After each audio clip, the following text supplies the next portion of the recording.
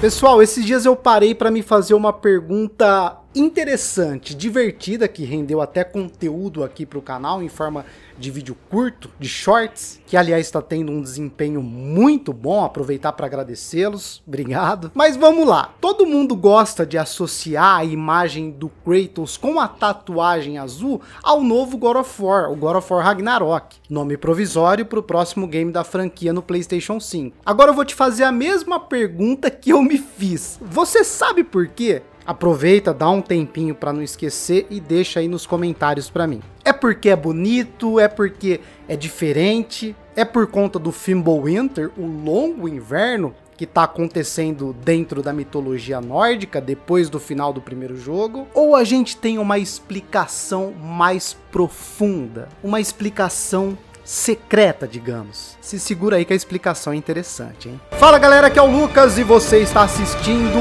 o meu canal de games tudo bem com vocês, pessoal? Estamos aqui para mais um vídeo de God of War, dessa vez para saber por que a galera, principalmente no YouTube, e os artistas que fazem diversas artes do Kratos, do novo God of War, por que eles colocam o Kratos com a tatuagem azul? Vocês podem ver em diversas thumbs aqui do meu canal e dos colegas, dos amigos no YouTube também, eles gostam de colocar essa imagem com o Kratos e a tatuagem azul. Mas todo mundo sabe o porquê isso pode acontecer? Eu creio que muitos de vocês já sabem que inicialmente o Kratos teria tatuagem azul lá no primeiro jogo da mitologia grega, só que isso não aconteceu poucas semanas antes do lançamento do game. A gente tem até imagens do Kratos com essa tatuagem azul. Não aconteceu por conta do Diablo, do personagem que tinha lá, com a tatuagem azul. O David Jeff, na época, o criador de God of War e diretor do jogo na época, ele achou que essa inspiração estava indo longe demais e resolveu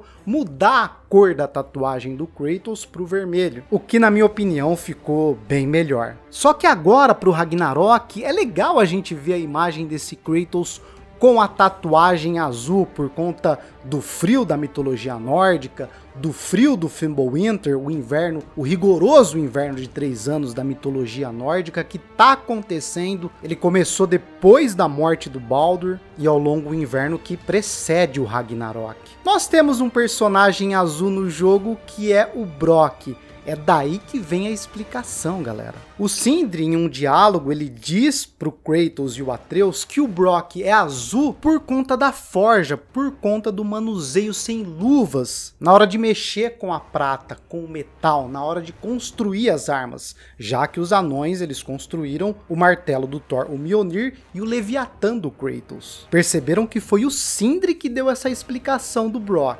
não o próprio Brock. Você fez mesmo esse machado para minha mãe? Ah, não tem como confundir. É sério, um dos melhores foi infundido com os gritos de 20 trolls gélidos. Mais ou menos. Mas por quê? Como conheceu ela? Foi ela que procurou a gente. Ela era uma mulher especial. Queria proteger as pessoas.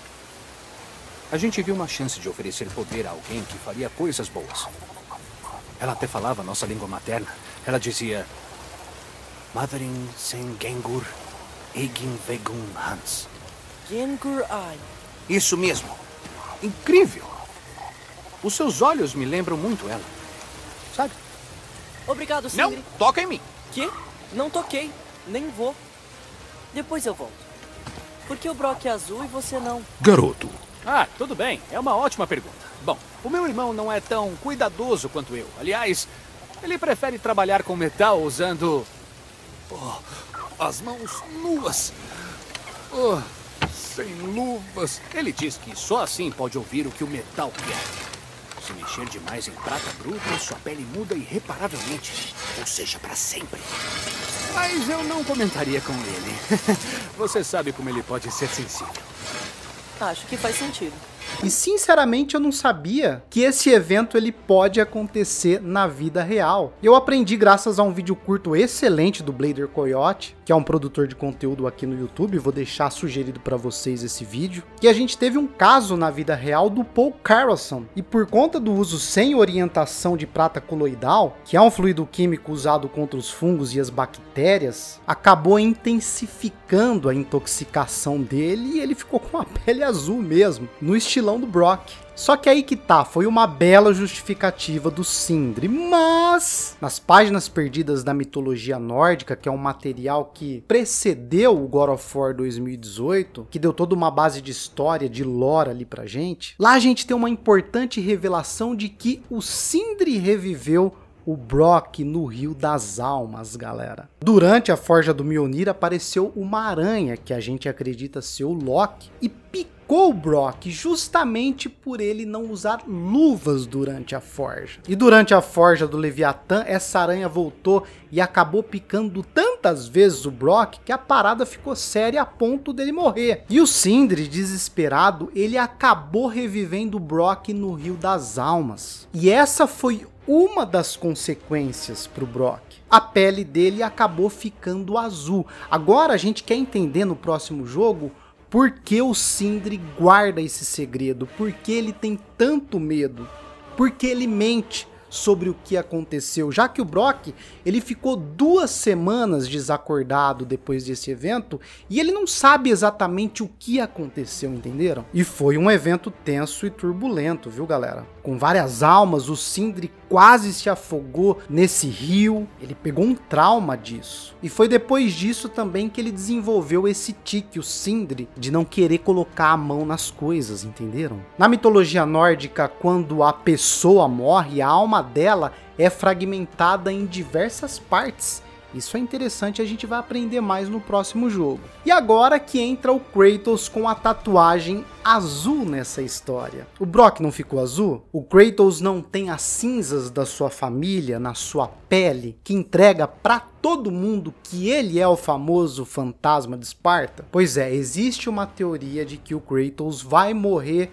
pode morrer nesse próximo jogo, e quem iria reviver o Kratos no Rio das Almas seria o Atreus. E já que o Kratos tem as cinzas da sua família na sua pele, essa coloração azul, ela só pegaria, impregnaria na parte vermelha da tatuagem, entenderam? É daí que vem a imagem de um Kratos azul no próximo God of War. Já que o novo game ele tem uma temática azul. Quando a gente viu o Omega Symbol, que é formado pela Cobra e Jormungandr, a gente viu que agora esse símbolo ele tá azul. E no God of War 2018, ele era vermelho. Interessante isso, né, galera? Então o Brock, ele não nasceu azul, ele pode ter se tornado azul por conta do manuseio com metais, mas não é isso que alora a história do jogo. As páginas perdidas da mitologia nórdica não é o que elas dizem pra gente. E lembram que eu falei que foi o Sindri que tentou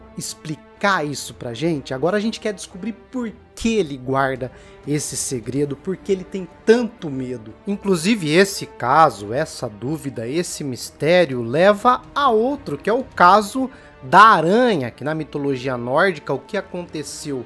Uma mosca atrapalhou o Brock e o Sindri. E aqui no caso, nessa adaptação do jogo, foi uma aranha que a gente imagina ser o Loki, só que o Loki ainda não era nascido que é o Atreus, galera, entenderam? A complexidade aí já envolve muita teoria por conta das viagens no tempo e das linhas temporais que a gente imagina ter em God of War. Se a Santa Mônica resolveu seguir a mitologia, então é o Loki. Isso já daria um nó na nossa cabeça da gente tentar entender o que está acontecendo. Será que o Atreus e o Loki vão ser pessoas diferentes? Por que essa aranha picou justamente o Brock? E qual o motivo por trás dela querer atrapalhar a forja dessas duas grandes armas da mitologia nórdica, o Mjolnir e o Leviatã. A complexidade da história de God of War realmente me fascina, pessoal. O que vai ficar azul também, eu tenho certeza, é o like no YouTube, que vocês vão deixar vários. É isso, galera. Um beijo, um abraço. Fui. Tchau, tchau.